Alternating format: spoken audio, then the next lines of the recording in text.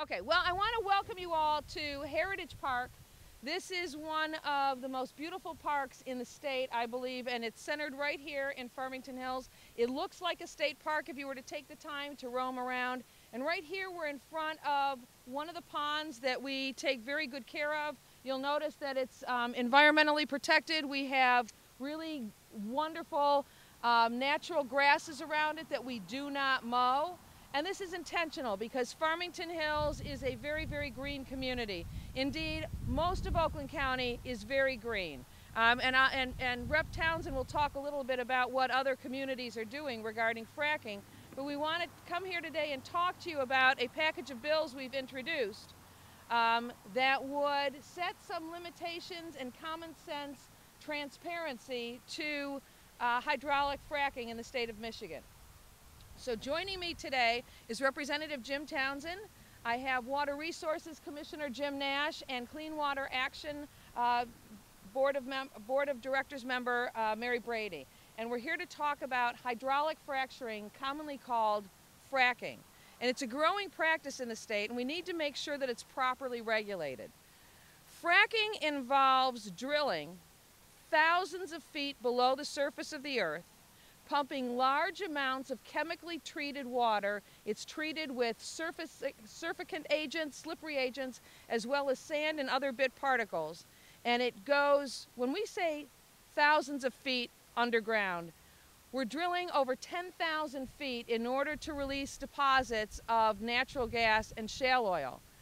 Over 10,000 feet. We're going two miles deep into the earth to release these natural gases. So vertical fracking, which is a different process, is not new to Michigan. We've actually been vertically fracking for oil and gas since 1952. But horizontal fracking that we're talking about now is a very, very new industry and takes fracking to a whole new level. Uh, as I said, instead of drilling simply 3,000 feet below the surface to release the agents of, of gas and oil, we're drilling over two miles in a horizontal path, no less. And instead of using a few thousand gallons of water, we're now looking at billions of gallons of water being pumped into fracking wells. This also means that more chemicals are being used and more land is being used. It's imperative that these chemicals do not infiltrate our groundwater or contaminate our soil. According to the EPA, over 930 different chemicals have been used during the fracking process. And these chemicals can pollute our air, our soil, and our drinking water. Many of these chemicals contain arsenic, cadmium, and numerous chemicals and have led to a rise in health and environmental problems in other states. We need to make sure that Michiganians and are, have access to safe drinking water. But I also want to point out our unique location in the world. We are surrounded by the Great Lakes. We are home to one-fifth of the world's fresh water system. And so we have a different obligation to take care of that water than any other state. And that's why we're calling on drilling companies to fully disclose the chemicals that they use in fracking operations. In addition, this process uses billions of gallons of water that then must be sequestered and removed from the environment permanently. Currently, oil and gas companies are exempt from state law in regards to how much water they actually withdraw from the Great Lakes or from the ground that they use. And according to DEQ, there are 52 active permits and 17 pending permits already for fracking operations in the state. Based on the data that we collected, the proposed water used for those eh, fracking operations is 500 million gallons of water. But on top of that, Encana Corporation has proposed 500 new wells, extracting an estimated 4 billion gallons of water. So, how much is 4 billion gallons of water? I could tell you that it's enough to drain Kent Lake twice, but that doesn't really tell you how much water that is. This is a gallon of water. Stacked on top of each other and laid end to end, 4 billion gallons of water in this kind of container would reach to the moon and back and have enough water bottles to spare to wrap around the earth 4.77 times. That's a lot of water. And that's the amount of water that we, will be withdrawn from the water system permanently and sequestered.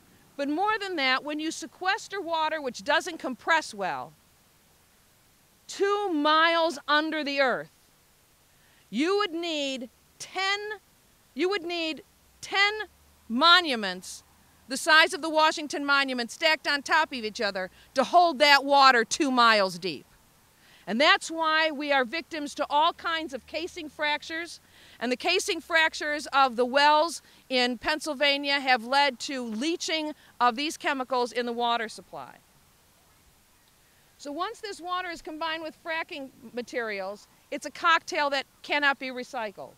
It's no longer available, this water, to be used and it has to be sequestered. With already historically low Great Lakes water levels, what more do we need to talk about here?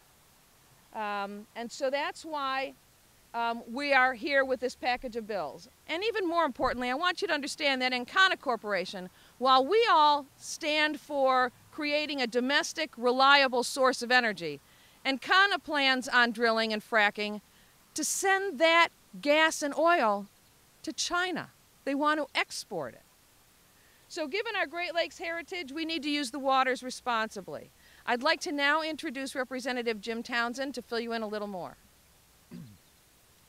Oh, you've got mine here right I here. do oh, too. well, good. I'll just put this away. Uh, thank you. Uh, do I need to speak into this or? Yeah. It's not on? Okay. Well, then I won't. Um, well, thank you, Representative Barnett. It's a great uh, pleasure to be here today with all of you on such a beautiful day to, uh, to really talk about a principle at stake here. And that is really the principle that we'd all, we, we really all should play by the same set of rules. You know, the idea of, uh, of accountability and fairness are really fundamentals to our system of government, to our society here in Michigan and in the United States. And what we've been allowing to happen in our state and really across the country with regard to fracking is we've been allowing an industry to play by a different set of rules, to withdraw giant amounts of water, uh, pollute that water, uh, conduct drilling operations uh, of really an unprecedented scale without really any oversight of, of, of any means, of, of any particular importance. I mean, they were able to do this in the dark of night. They're able to do this without the proper accountability. And that's really what we're here, here to, to, to put a stop to. Um, there are people that would like to end fracking altogether. Uh, that's not what this package does. This package says that hydraulic fracturing ought to be something that's treated the same way uh, as many, many other industries in the, in, in the sense that if you're going to be using public assets, meaning our land and our water, you're going to be doing things that are going to change those assets and, and in some cases pollute them probably forever, then you have to be uh, engaging. You've, you've, got to, you've got to provide a lot of disclosure. You have to uh, uh, allow the community and the state to participate with you in determining whether that's really in the interests of our community and our state and our, and our people. And uh, that's what this package does. It tries to fill a whole series of uh, uh, gaps in the law that until now have essentially allowed hydraulic fracturing to go on with very, very little oversight. And, uh, and, and really what, what Representative Barnett was talking about is, is really quite scary. Uh, the things we don't know uh, about what hydraulic fracturing really can do uh, to, our, to our land and to our water. Um, we want to make sure a number of things happen in this bill. I'm just going to trip through a few of them. We want to make sure that gas companies are transparent when it comes to the chemicals that they use. Representative Barnett talked about what 900, 930 chemicals that are being used. We don't know because they're not required to disclose very much about these chemicals, the combinations of these chemicals, um, uh, you know, what, what really are we dealing with here? We don't know, we must know, and our legislation would require uh, them to disclose that. We want to make sure that the public doesn't suffer adverse health uh, effects as a result of fracking operations. Michigan families sh should have a level of water quality that they've come to expect, and, and uh, Representative Barnett talked about our unique responsibility in that regard as, a, as the Great Lakes state. If drilling companies pollute our water, we need to hold them accountable, and our legislation would do this. Our bills take a common sense approach to fracking regulations. Again, we're not trying to end the practice. We're trying to make sure we know what we're dealing with and make sure that any fracking that does occur is done so in a way that takes into account the vital public assets that are, that are potentially being put at risk here. We understand that the natural gas industry is a really important part of our economy. And we all know, gosh, with almost 8.5% unemployment in this state, that we can't do things that are going to uh, harm our economy. But we don't think that that's the choice that we're facing here today.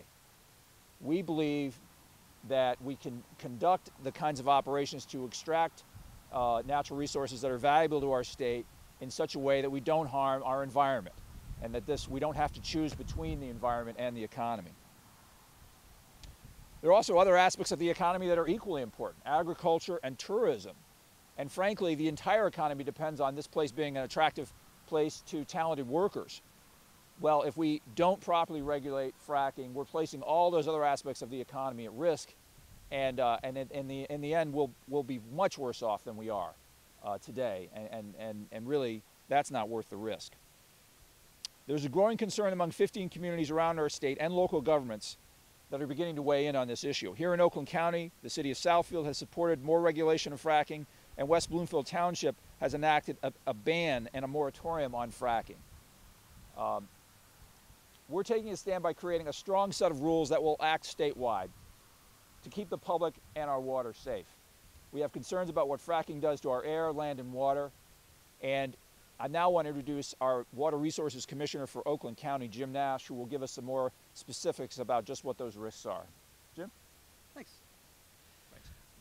I'm Jim Nash, the County Water Resources Commissioner in Oakland County. Um, used to be called the Drain Commissioner. Most people still know it as.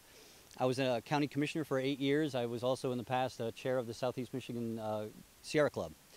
Uh, I've been an activist uh, protecting the environment all my adult life. I'll tell you real quick, my father, 105 years ago when he was 10 years old, heard Theodore Roosevelt speak.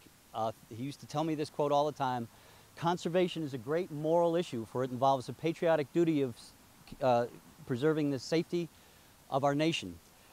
We have to make sure, we sit on 20% of the world's fresh water. We have to make sure that we don't hurt that fresh water. We have to make sure we have a moral responsibility to protect it fracking has a huge impact on the environment. Um, a lot of, you'll hear often they'll say, well, there's been no case in Maine, uh, Michigan, of, of, a, of fracking, uh, of oil drilling uh, harming the aquifer. That depends on how you look at it. The 99% of the wells drilled in Michigan were before these concerns existed. There were no testing of the water aquifer before the wells were drilled. You can't tell what damage was done by those wells. Um, when you look at these wells, the possibility of pollution is large. Uh, Representative uh, Barnett mentioned uh, the Encana. They're looking at 500 wells, 4 billion gallons of water. If it's 1%, that's the average they're talking about, 1% chemicals in this. It's only 1%, it's very small. 1% of 4 billion gallons is 40 million gallons of chemicals, toxic chemicals that are going to be on our roads they're going to be coming back in the, in the water that comes back out of the wells. Most, uh, most of the water is absorbed, displacing the gas that's released in this fracking. Anywhere from 30 to 50% comes back as, as wastewater. That has to be in deep injected into the ground in, in, a, in a separate site for permanent disposal. It's out of the hydrological cycle. But that, that 40 million gallons, that, all that, that the gallons of, of potentially highly radioactive and chemically uh, infused water has to travel on our highways to these injection wells. That has to be loaded and unloaded. The chemicals have to be loaded and unloaded. Every time you're doing this, there's a potential for an accident.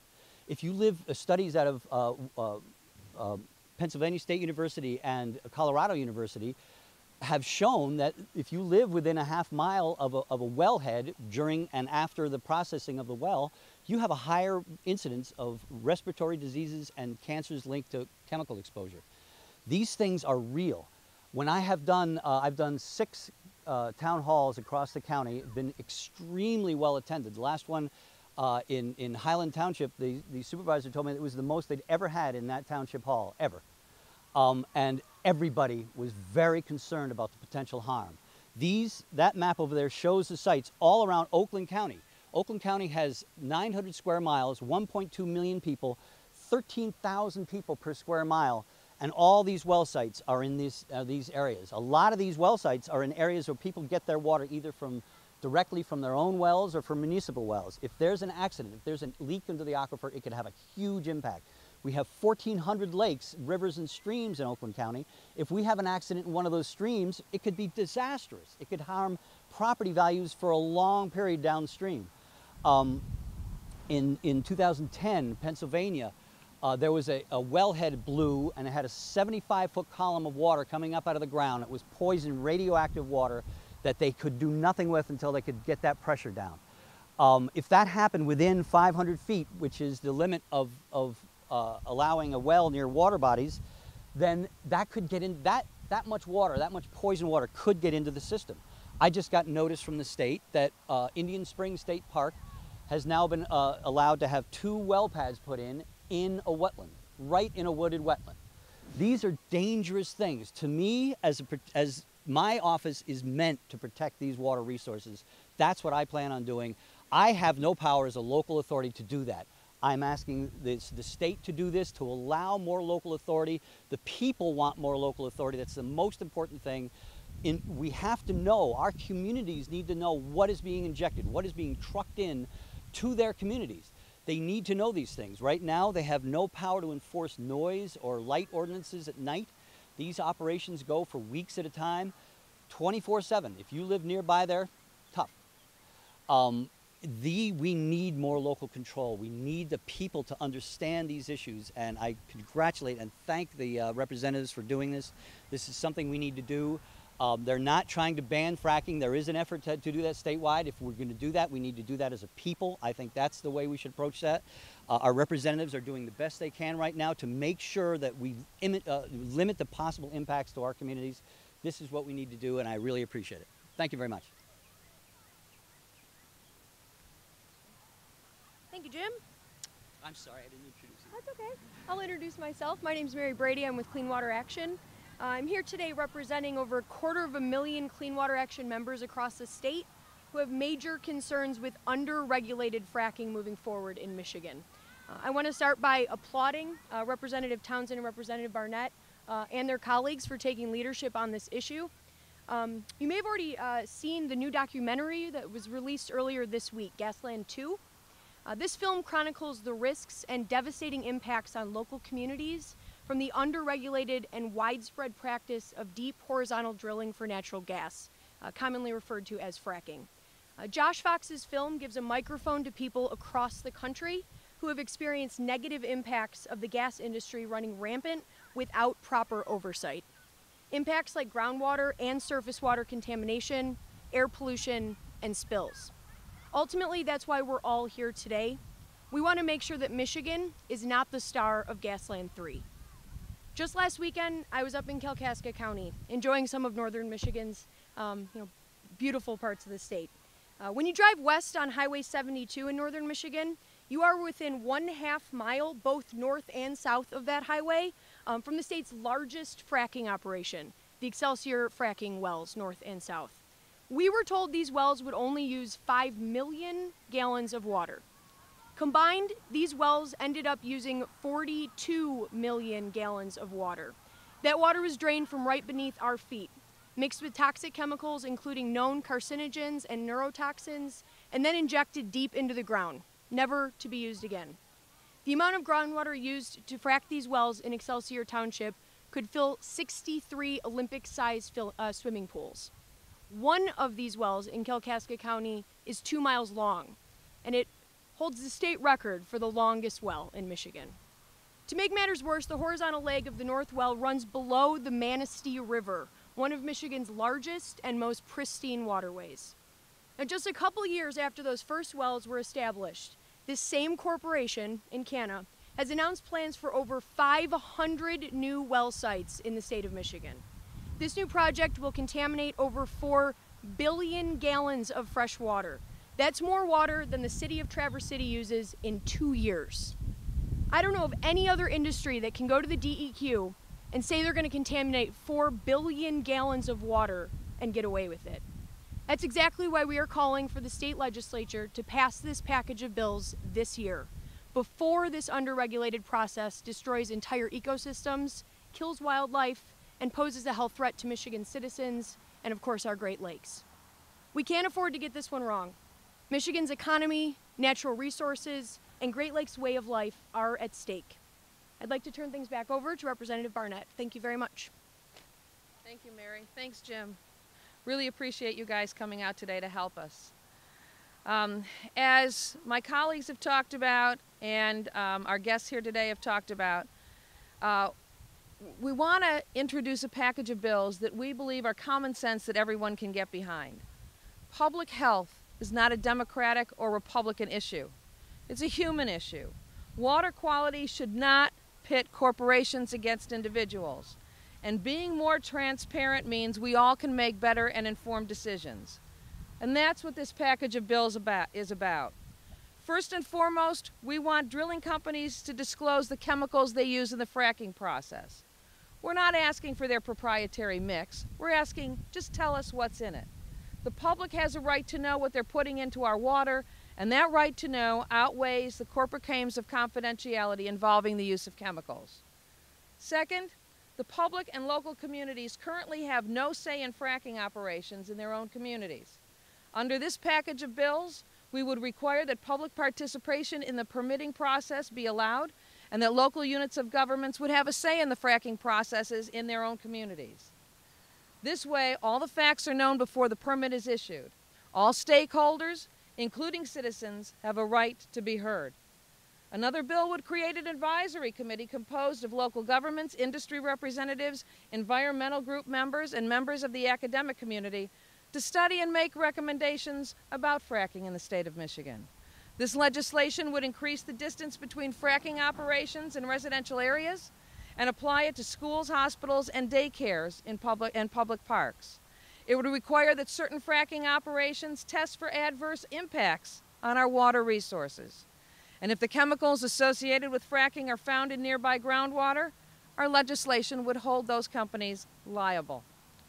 We need to make sure that fracking companies are being honest about what they're doing with our land, our water, and our environment.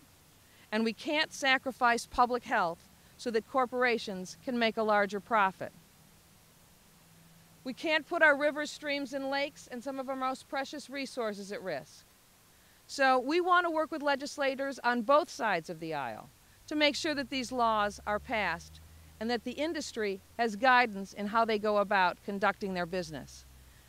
About 11 years ago, at the beginning of this century, Governor Engler signed into law a package of bills that prevented drilling under the Great Lakes. A decade ago. And now we're talking about undoing all of that legislation and allowing unfettered drilling and large scale fracking operations with unknown consequences to do exactly that across our state. It's unconscionable to me that we wouldn't learn from what's happening in Pennsylvania and Ohio and Colorado and make sure that our citizens and indeed our kids are protected from the dangers of unfettered fracking operations.